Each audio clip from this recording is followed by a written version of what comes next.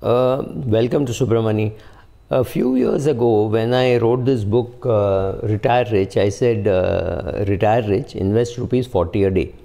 Uh, even today, I think it's a very good number to start with. 40 is enough. I could have called it uh, invest under $1 a day because when I wrote this book, the dollar was 40. Why, why did the number 40 come up? It's because 40 was the value of the dollar. So I could have called this uh, Retire Rich, invest $1 a day uh, but then that's not uh, that does not signify the fact that it is based in India and not a US based book because most books today I mean has always been if you uh, investment books are always almost always based out of US some are there based out of UK some even out of France but they have a rarity. Largely it is the vociferous American investor who urges you to invest and says, This is my track record. Look, I'm so successful. Please invest in my company. That has been the urge always, right?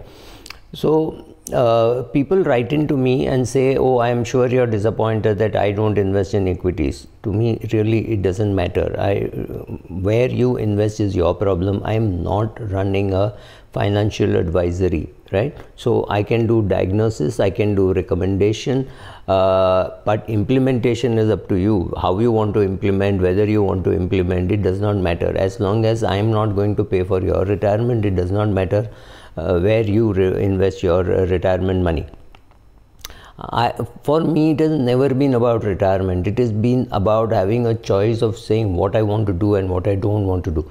So, a little bit of my life. I started life as a chartered accountant. I was in income tax practice. I used to go to company law board, income tax tribunal, etc., etc.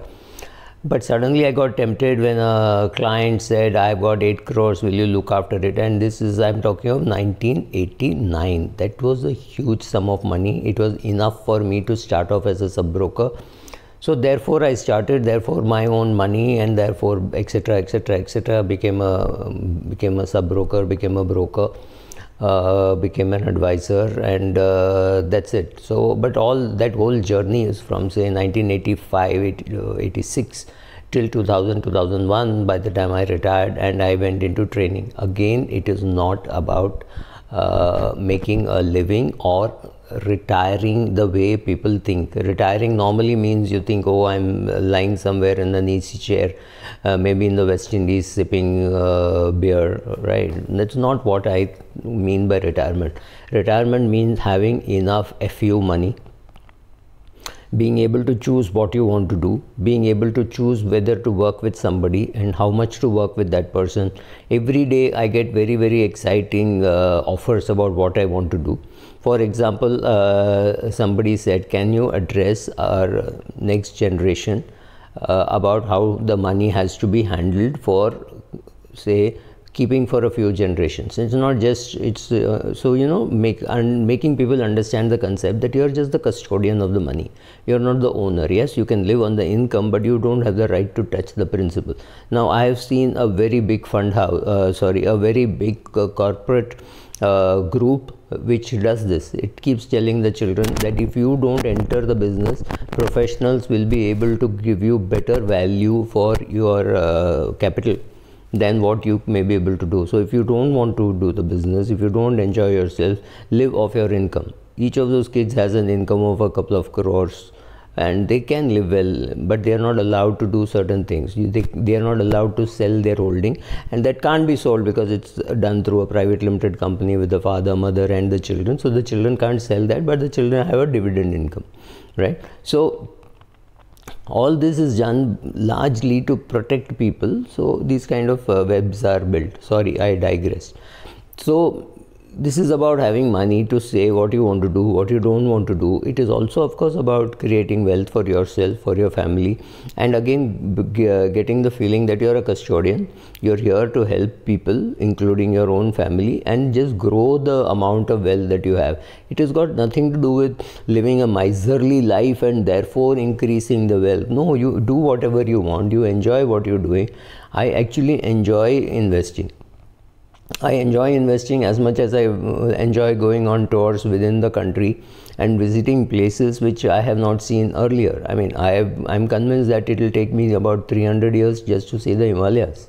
it is such a beautiful uh, range of mountains. Himalayas is not just Everest, right? The whole range. Uh, you see it from Uttarakhand, you see it from Himachal Pradesh, you see it from uh, Chandigarh, right? All that which you see is the Himalayas. So there is so much to be seen.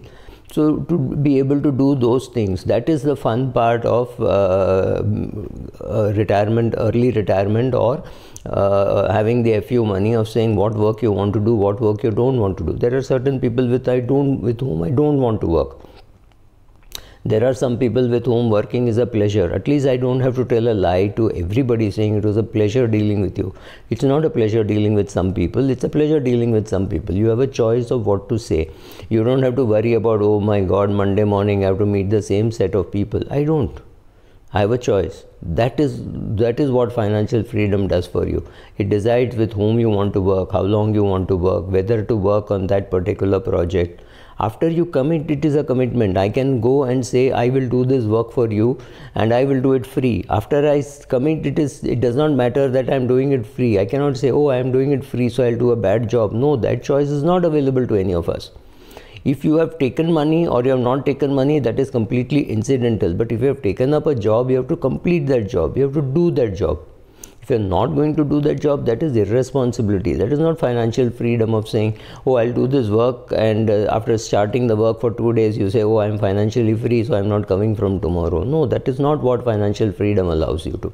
Financial freedom allows you to do whatever you want, but you still have to be responsible towards what you're doing, right? So, I really don't uh, do advisory on uh, phone or online or any way because unless I know you, I don't even want to recommend anything to you. So therefore, the only thing I will ever recommend is index fund, and I will not put my own money in an index fund for uh, some more years, right? So it uh, reminds me of a very beautiful uh, story, and I also tell people. Uh, financial freedom is also about living a simple life. It is simplicity. It is uh, you know having uh, very few, uh, reducing your wants, reducing the number of things that you need. You know, like Mahatma Gandhi says, uh, I'm rich by the things that I can live without. Uh, it reminds me of a beautiful old story of two classmates. They meet after a very long time. Both are about 60 years of age. There's a class reunion and they meet, and uh, one of them has decided to become a monk, and one of them has become a very big banker. Let's say he's a banker i don't want to call him a minister so let's call him a banker. Both are equally good or equally bad. So the banker who's come in a nice big car and uh, with a pipe in his hand and he looks at this guy who was a school teacher and uh, then became renounced everything and became a monk and he says well if you had taken my route uh, you would not have had to live on dal chawal so this fellow turns to him and said, If you had lived on dal chawal, you need not have taken that route, right?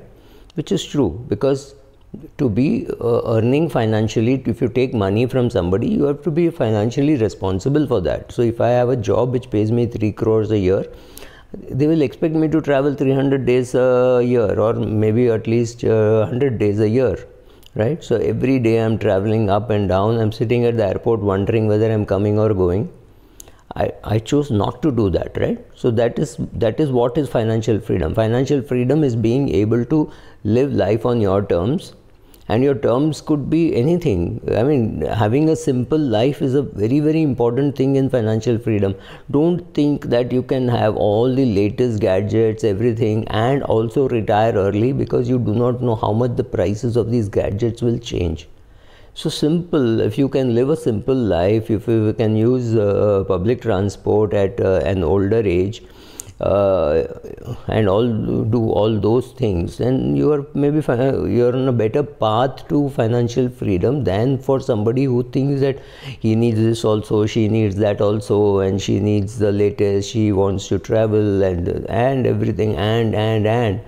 Then the question is, you don't you don't know what is the amount of money you need to be financially free, right? If you say, okay, one annual vacation costing 2 lakhs, that's easy to understand. But if you say one foreign vacation a year, uh, that would mean say 6 lakhs and next year it could mean 7 lakhs if the rupee gets weaker right? So then the question is do you really need have do you have that much money? And life becomes more complicated. So life is about having simple needs also and being financially free because then you're able to estimate your expenses better and uh, saying okay i need uh, 30 times my annual expenses. My annual expenses are 10 lakhs so i need 3 crores and i have 9 crores or i have 14 crores or things like that. That gives you confidence that even if something were to go wrong in your portfolio since uh, i had calculated and i require only 3 and i have 14 i will be able to live for the rest of my life without any stress right? So that is the purpose of financial freedom. But financial freedom i think uh, to my mind and what i have seen includes living a simple life which is more predictable and being satisfied with that life. It's not that i'm eating dal chawal and i'm craving for chicken. I don't eat chicken right? So i'm happy with my dal chawal so uh, understand what the monk said. If you take the dal chawal route, you need not do some of the things which a banker or a venture capitalist does. Whereas uh, if you choose to do what the venture capitalist does, you cannot uh, look at a monk and say, "Oh, you're eating dal chawal," but that's exactly what the monk wants. So you choose what you want. Choose a simple thing. All this put together becomes a uh, financial freedom and happily right so you need to and uh, financial freedom doesn't come at a very young age uh, unless you've inherited money if you've inherited money it, you could retire at uh, 40 or uh, you could retire even earlier uh, or you got from fantastic ESOPs which have done very well and you have the sanity to put that into an index fund. I've done one such uh, video long ago, I don't remember. Then it is a different matter. Otherwise, life is not so simple. But financial freedom includes simplicity of life. Thank you.